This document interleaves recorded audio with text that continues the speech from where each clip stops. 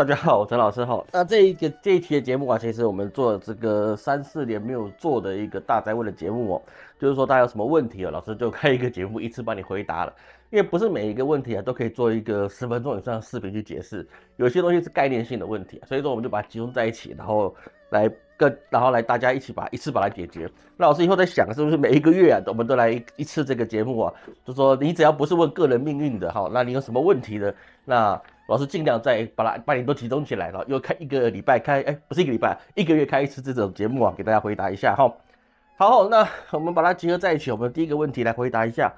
这个问题啊，常常有人问老师，这老师你是修佛还是修道的？这个老师讲一次哈，老师有办法会，所以说老师是道士。我头虽然头发虽然少，因为之前也早期老师头发是光的哈，但是不代表我是和尚，我是有老婆的，所以我是道士哈。那道士跟道家一不一样，其实这个地方是很多人的一个误解，道家是道家，道士是道士。好，那你道教啊，就是道士里面的，那不道道士是道士是道教里面的。那所以是说呢，道教是依附，这这是由道家的一个分支。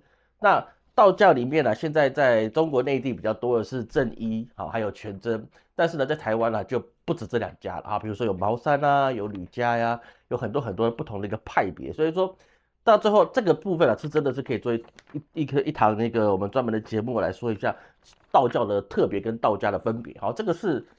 概念上是大家容易混淆，但是比较不一样啊。但是老师的师傅啊，有出家僧众，那也有我们的那个道士的一个师傅，所以是说啊，那当然老师这两边都会有修，只是老师的主干当然还是一个道士哈，这个是有差别的东西。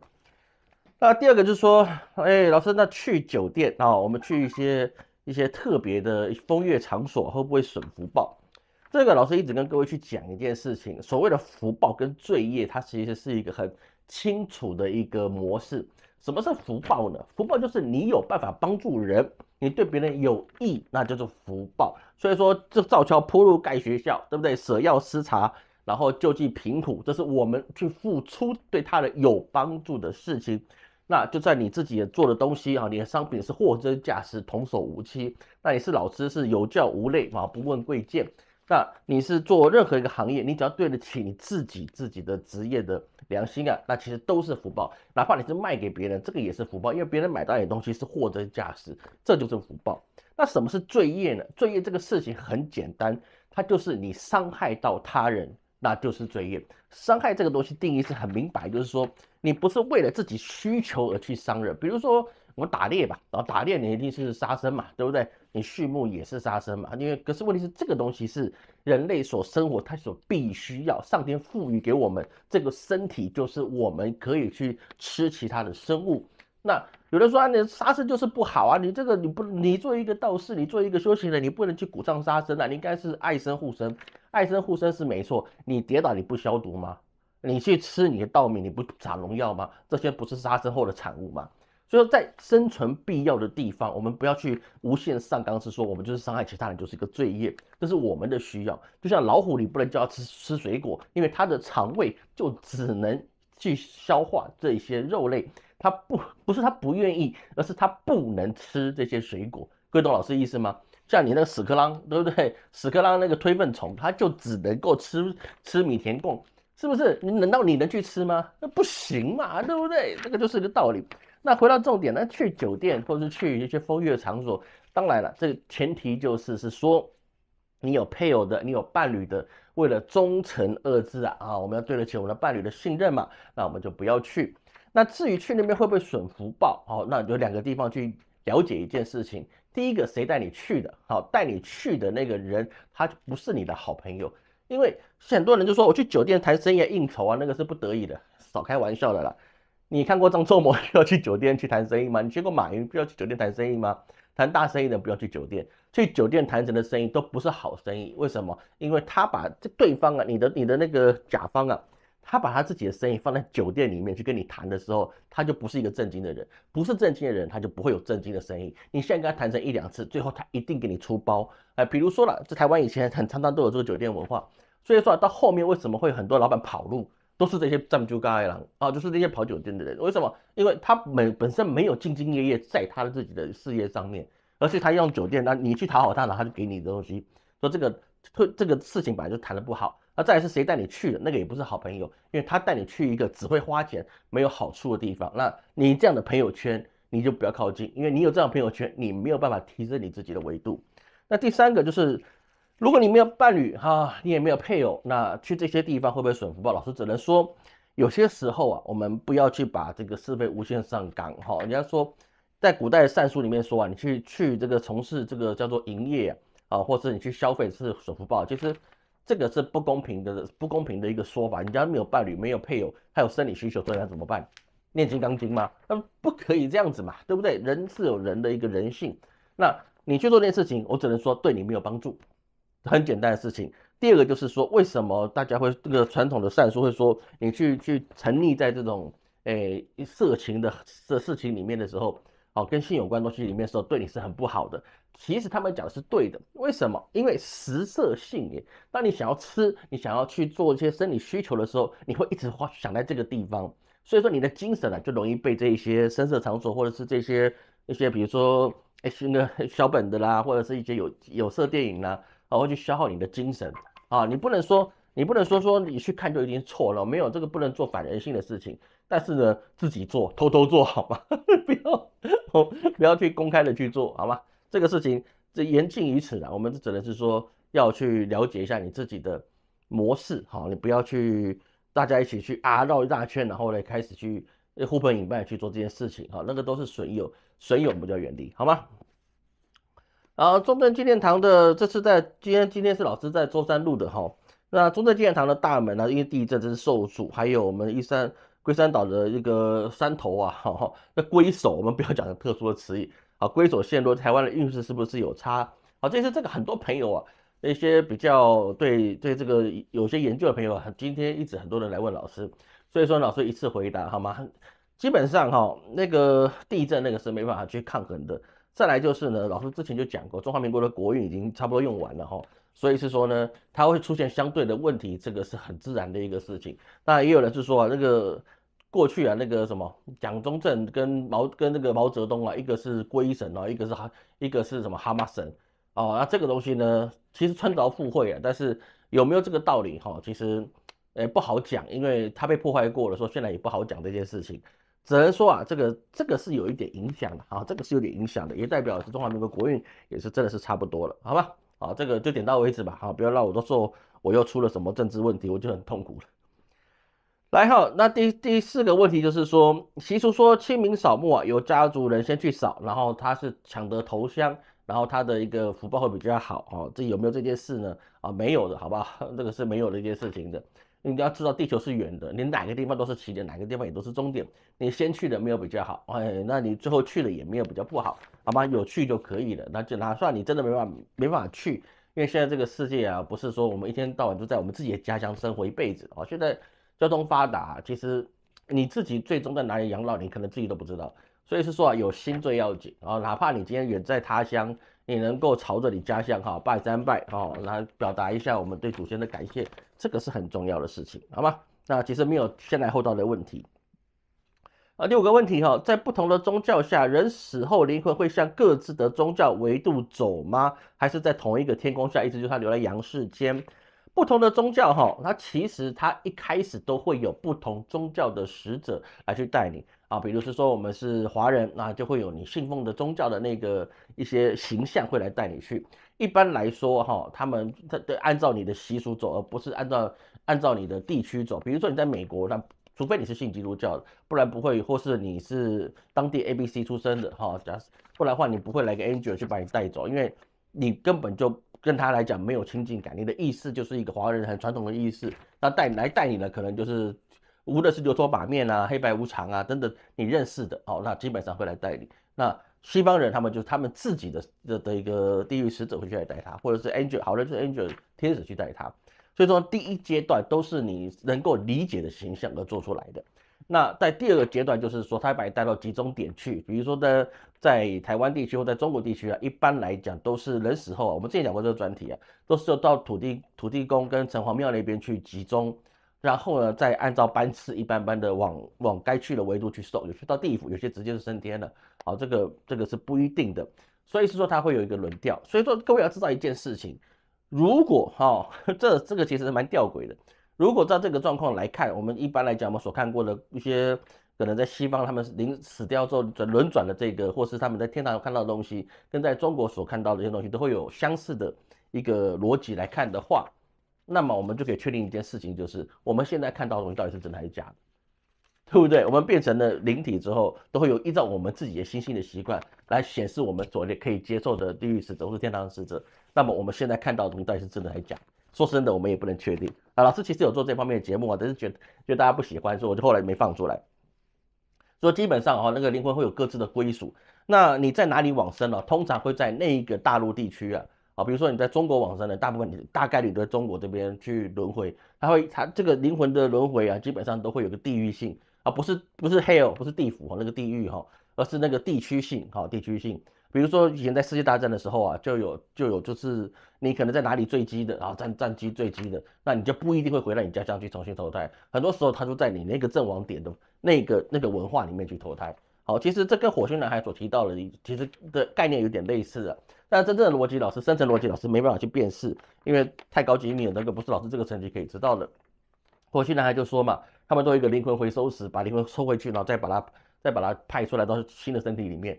那其实大概率也是这样的概念啊，就是你会有地地球会有一个地域性，就是不同区域的往生者会在那个区域里面做出来。比如像中国就有一个就有一个轮回村嘛，就是他们所有的人都在那个地方那个村子里面轮回。那相信他那边的可能那个能量省得大一点哦，基本上都是往各自宗教的维度走，然后后面再再分发，然后再统一啊，然后再去做其他的运转。好，这个其实是有它的一个流程的啦，好吗？也是他们也是有海关的了。那老师可不可以讲讲哪个地方有僵尸哈？这世界上没有僵尸哈，那个江西的那个赶尸啊，基本上呢是不不正确的哈，那基本上是不行的。说僵尸它是一个地方性的传说，呃，那像美国的尔兹比，这些都是人类的恐惧所传出来的一个幻想事物。原则上啊是没有所谓的人死后变僵尸的这件事情。这基本上老师我们我们都有去在学这正科班去学习这些科仪的时候，其实我们也是很清楚哦。是你是没有办法让一个死人再活回来的啊，哪怕他在运动这个都是不可能的。当然，世界之大无奇不有，老师只能说，至少老师所受到的一个正规训练里面啊是没有僵尸的，好吧？僵尸这个呃脏比啊，或者是这个跳跳跳的僵尸啊，都是不存在的啊，这这个是完全不存在的事情，好吗？那这个东西啊，有个这有个朋友在在那个那里面问过老师哈，老师这边有很多人有类似的问题，老师没有办法一一回答。就是老师办法会有没有办法拜这个石头神啊？比如说是一些土土神，比如说在美国有拉多公啊，或者是一些石头神啊，或者是一些树神啊，还有一些就是比较特别的一些一些神哈啊，这个东西有没有办法去祭祀？呃，基本上哈，我们一般的传统来看呢，你过了百年之后，你才比较有可能会成精啊。百年是一个很在整个世界里面是一个。非常短暂的一个时间，对人类来讲它是长时间，但是事实上在对这个整个地球的运转里面呢，它不过就是转了一百圈，那不就不就绕了一百个太阳次太阳太阳系的时间而已嘛，那个没有没有很长的一个时间呢，所以说你说它会变成成之后，我们要不要祭祀它？是不用的，因为它活它的地方，就像来讲好了，你会希望你家的猫叼蟑螂给你吃吗？不会嘛，对不对？因为像你的狗去去去抓两只猫给你吃吗？也不会嘛。对不对？所以说呢，那个它是它可以活得比我们久，就像我们在看小狗、小猫一样，我们不需要它养我们，那树它自己有可以吸到它所需要能量能量。难道你去拜一个拜一个水果，然后给树，然后来那个水果，然后那个苹果苹果还从那个苹果树上掉下来的，有意义吗？没有意义哈。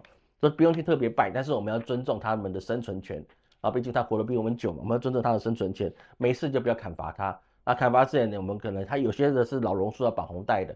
那基本上懂去修这个树木的人都会给他，然后烧个香，跟他讲一下，这个要帮你修剪一下，哦，这个还是可以的，没有什么太大的问题，好吗？啊，有些人需要老师讲一下八字的属性跟职业、个性跟家庭关系，哈，那这个东西啊，不是老师，当然老师因为师资班里面有讲，那最重要的问题是老师不要不希望大家去犯了一些迷信的一个错误，哈，什么叫迷信的错误呢？就是有些老师，有些人跟老师讲，老师，我我属木的啊，我是木属性的命，我是不是不应该戴首饰啊？比如说金的、银的啦，哈，或者是手链啊，或项链啊，就好像你是怎样的？你是你是金克木啊，就不行。那老师，我是属火的，哈，那我是不是应该去做一些跟火相关的产业啊？比如是说呢，做电器啊，或做热炒啊，啊，或者是做什么的行业，那这就很奇怪。人的不人的生命跟职业如果只有五种的话，那人也太无趣了，好吗？那这真真的不是这样。老师过去的节目就有说啊，不是你五行看你的可能生肖啊，那你代表属什么的？比如说有人说啊，老师我是属兔子的，我是我是木属性的，对不对？哎，那我是不是不应该戴那个什么项链啊，银项链、金项链？这好像被被拉被被被圈养的一个动物。那我就说你去戴你去你去戴钻石项链不就好了吗？哦，没有这回事哈。那个所以说啊，那个八字的属性啊，它是由综合评论起来的一个数据啊。这个数据啊，并不是用我们所理解的这个五行里面去直接给它做下定义的，但它会有各种不同的反应里面。做判断，然后这个其实，在在我们的通识课程里面都已经讲了哈，所以说你千万不要把说八字的属性一定是这样的，它一定是碰到这件事情，没有哈，这个是这个是误解，这个是一些诶营销手段啦，就是说啊，就卖你这个东西啊，你是比如说你是属狗的，那你就是寅午戌三合啊，所以说呢，你要带一个马的配件，然后呢再带一个什么寅午戌嘛，就还有一个老虎的配件啊，三合上面就可以帮助你。三合为什么三合？它的逻辑在哪个地方？对，寅午戌三合画什么？它你画它画的是火，对不对？它画的是火，那你那你你其他东西又不是火，那你你去带这个东西是有用的吗？是不是？这个就是很多东西是误解，他只是为了卖东西给你，所以说就跟你讲你是属什么的，所以你就要带什么东西，买什么东西，放什么东西啊？这个是一个营销手段。那这些人当然通常都不会太有钱，我跟你讲真的，卖你这个东西通常不会太有钱，有钱的不多了。我说真的。啊，你要说其他在网看我们网上所知道那几个头部的啊，卖宗教用品很有钱的，他通常也比较少跟你讲是说你要，因为你是五行属什么，他只是设计一个商品跟你讲是说啊，你摆这个象征的什么富贵吉祥啊，或是怎样怎样的哈，他会讲一些修饰词，但是比较少跟你讲啊，你属狗的你就要带属带那个马的配件啊，或者你属老鼠要带个龙的配件啊，这个是营销手段啊，那个没有根据的事情，所以老师只要开个节目跟你讲。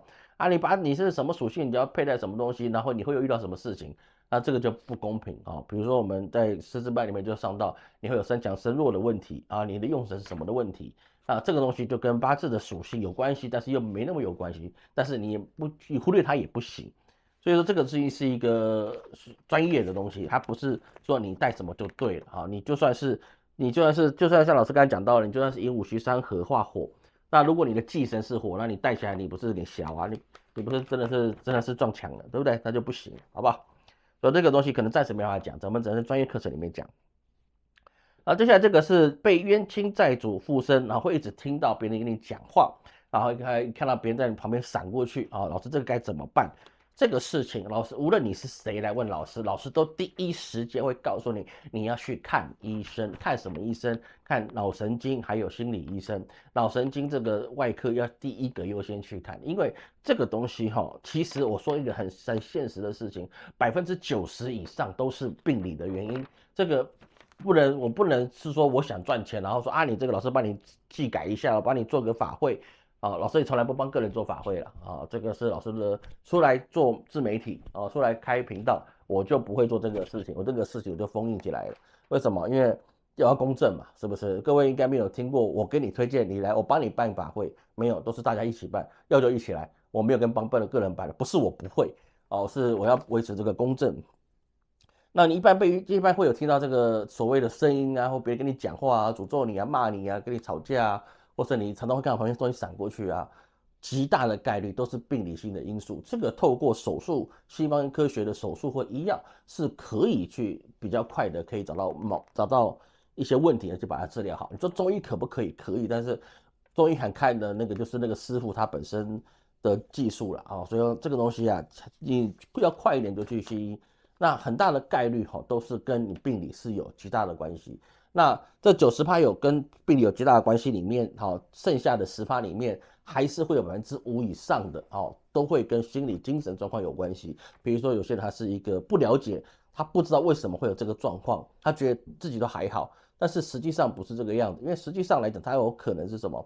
他有可能是抑郁症，他自己不清楚这个状况，他就觉得是说，嗯，我就没事的时候是没事，有事的时候我就突然觉得那个。涕泪如雨下，我根本就不知道为什么。我觉得是不是那个一个冤亲债主在靠近我，或是靠近我的小孩？那我问他们，他们也都说没事，等等之类的这个状况会有。这个东西你是必须要靠心理医生或者病理医生去看。一般冤亲债主缠身你是看不到的。好，老师是专业人士，可以告诉你，他既然要讨债，他就不希望你去防御他，他不可能让你知道他在找你讨债，因为他他就是会这个模式就是这样，这个套路就是这样，他要找你讨债，他就不会让你知道，他就让你在一直在莫名其妙之中，然后。得到这个报应，哎，不然你都知道他想搞你，啊，你不会防御他嘛，对不对？所以说有没有可能是有一些债务产生？有，但是几率极低哦。你可以抓百分之一不到的概率去说，你有可能是被一心上产生，然后你看到幻听啊、幻视啊，或者说老师这不是幻听，不是幻视，他真的一直跟我讲话，只是你们听不到，那就是幻听，好吗？那你是幻听的啊，那个没有什么争议的事情。所以说第一时间啊，不要去拜一拜，然后遇到这个事情第一时间，你要拜拜也可以啊，我等下告诉你怎么做。那最好的方法就是赶快去预约到全身健康检查，尤其是你要找心理医生或是找这个脑神经外科的去做个检查。你说我有这个状况，我看到残影啊，或者是说我有听到一些很奇怪的声音，那他们同时会请你去在精精神科或是心理心理健康师那边去做诊断。好，一定要透过科学的方法。还是一句话，冤亲债主他不会让你知道他来讨债，他就是在背后搞你，好吧？这个是很正常的一个事情。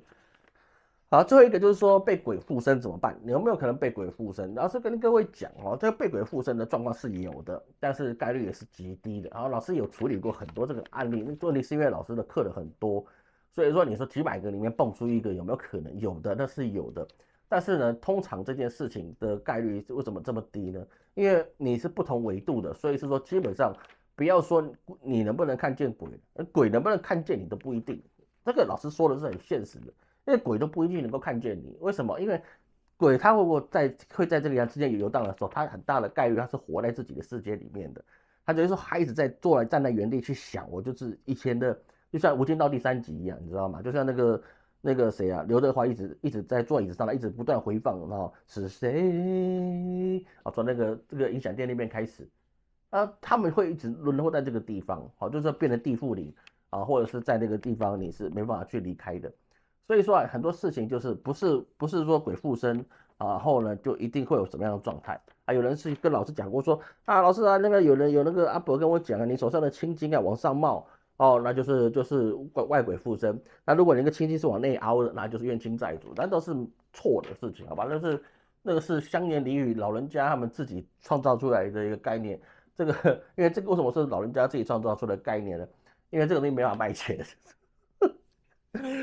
哦，但是还是有概率会有这个状况是有的。那老师现在告诉你，如果你怀疑是冤亲债主，如果你怀疑是那个那个什么有被鬼附身啊，这个是有的啊。老师也处理过一些比较有争议性的啊，比如说我们俗称鬼屋的啊，或者是一些特别的案例是有的。那这个时候怎么办呢？我告诉你，你就得先去地方的大庙啊，要大庙，比如说台北有行天宫。啊，那要找一个有最好是武将庙啊，武将庙武将比较凶一点，哦，因为佛太慈悲了哈，武将庙比较凶，比如行天宫这种哦，清或是台这种清水祖师，对不对？啊，这种关帝庙那个是比较比较威武的啊，因为大家信仰力很强。啊，最好是先从关帝庙开始，或是或是什么师傅王爷啊，或者之类王爷庙啊，他们是有地方的实力啊，这个实力是很摆在眼前，还是很现实的一个事情。所以说，你就可以去那边，然后直杯去请示，是说啊，我是谁，家住某某某，出生在几月几呃，家出生在某年某年某某日，然后家住在哪个地方，然后呢，我现在遇到这个问题，那是不是家里有这个状况？知道是的话，请赐以圣杯啊，有就有，没有就没有。那有的话，那是这个原因。那这个这个王爷或者帝君啊，啊，你可不可以啊，请他离开我啊，主持公道？因为我我觉得我没有伤害到他啊，那这个生命去去处理这个事情。好，基本上啊，你不用找到法师或道士了，法师道士只是处只是临时处理一下可以了。真正你要三界去找出这个公理跟正义哦，你不能靠法师，因为我们这些法师哦，只是书记官。啊，我们只是走个仪式可以，我们帮你办一些事情，去跟上面沟通。比如说，我老师办这个补运法会啊，补财库法会，还有这个回向法会、操作法会，我们都是一个中继者的角色。中继者代表是我们是处理事情的文书官、书记官，哦，那个俗称豆桃、嘎逼星啊，桌头跟笔身啊，这个还可以。但是你真正要处理事情的，必须按照规定来，他要按照他的他的一个模式，就是断是非的，不会是人类。啊，我们不人类是人类道士法师是不能够断是非的，这个是非只有天可以断啊，天可以去断。那判地地有判官，天有天神去断。所以说你要警惕神明来去主持公道，要怎么样啊？一定都是神明来去他去把他去做审判，该怎样就怎样。基本上不要去说什么说我们今天遇到这个冤亲债主或是被鬼缠身，然后我们烧化钱给他，然后呢他这个事就结了。其实。这个东西一定有成功的案例，但是呢，你哪哪次见过流氓给你勒索一次之后，你平安一阵子之后，他终身就不会来找你的状况，都不会有。遇到这种这种已经是勒索状况的时候啊，你花钱可以消灾，消一阵子，过没多久，他他不是自己来，就是好后康道修不找其他人来弄你。啊，因为什么？因为你软柿子嘛，对不对？这这个讲起来不好听，也可能会影响到其他法师的财路。但是实际上来讲，我们还是做身为一个道士，我们必须要要做对的事情。就是这个事情，我们本身道士就没有判断是非对错的事情。那么我们也见过了阴灵来处理来来闹的，我们也处理过一些路上的一些一些野孤魂野鬼来这边无事生非的，然后我们也见过冤亲债主来讨报，然后要去取命的，这些我们都遇过。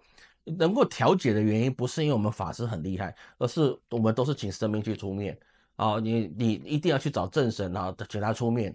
那他说不可以，那就那要指烧，我们找其他哪个有关神明来去处理，一定是找神明的东西。就像现在吧，老师现在我们在处理，在学校当过家长会，我问你就一件事情，就小孩在在在学校受到委屈的时候，你第一件事情找老师还是找校长？我告诉你，如你找老师找校长都没什么屁用。你直接找教育局打那个申诉电话，找教育局去做。为什么？因为老师跟校长他只有调解的权利，他并没有没有是说需要谁去负担负起这个责任的的的这个裁判力。啊，他们只能是尽量调和家长跟家长之间、小孩跟小孩之间的一些纠纷啊。这跟法师是一样的，我们只能调解啊，他愿不愿意这样做？那其实基本上你要裁决的时候，你还是必须呈报声明。那既然都要呈报声明，我们不会开始找声明了。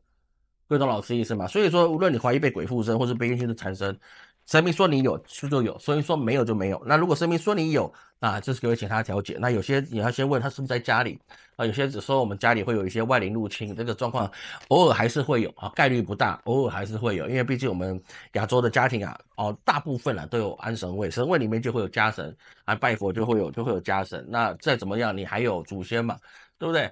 还最少还都还有祖先，那都没有状况之下，他也不能随便进到我们的家里。为什么？因为在这个阳世间的环境里面呢，我们的磁场是强过于强过于没有肉身的人啊，有肉身的磁场是比较强大的。所以说一般来讲啊，那个孤魂野鬼啊，或者是一些冤亲债主，他并不能够下手这么快。那刚老师刚才讲到冤亲债主来讨报呢，是因为阎王同意他来讨报，因为你上辈子做了对不起他的事情嘛，那当然是不行的啊，当然是不行的。说你当然是要还这个债。所以说啊，总而言之，总之啊，遇到这些你怀疑是三界的问题啊，请你去找大庙的神明啊，找大庙的神明，然后先去问有没有这个事情。好，那你来，你又有很多很多新的老师，就先来找老师，老师也也会跟你讲一样的事情啊。你先找地方大庙啊，我们来处理这件事情。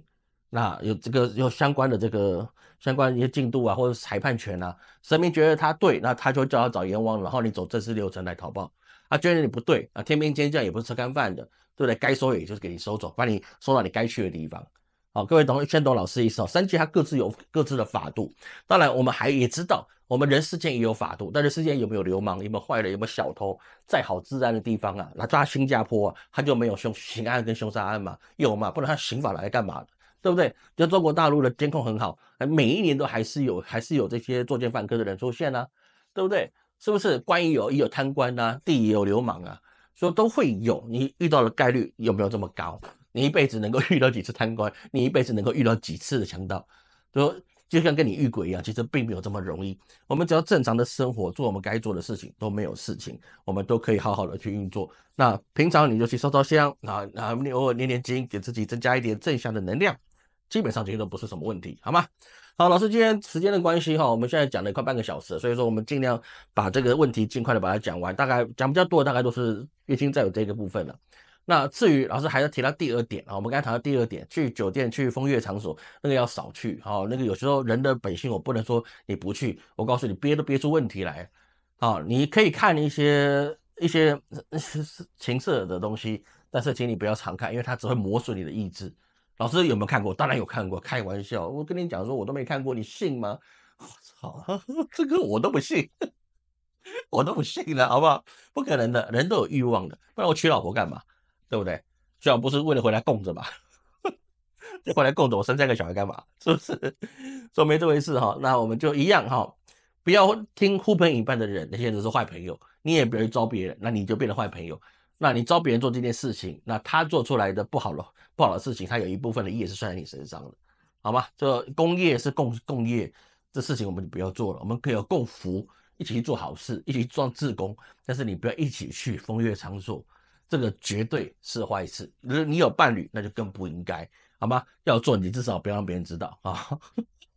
家庭要顾好，好吧？这个老师在最后一次口口婆心跟你讲，无论如何，家庭一定要顾好。家才是根本，没有家，你所有的成就都是虚的，你就是一个风滚草而已。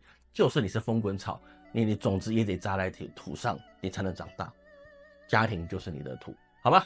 好，感谢各位今天收看，稀里糊涂我们又过了一集，感谢各位收看，我是陈老师。你有什么问题你想知道的，你在留言区的下方啊留下你的评论，让老师知道一下。那可能我们下个月我们再开一次类似的节目，来回答大家的问题。我是陈老师，我们下次见。